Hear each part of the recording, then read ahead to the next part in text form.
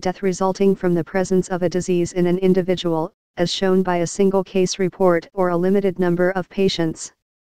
This should be differentiated from death, the physiological cessation of life and from mortality, an epidemiological or statistical concept.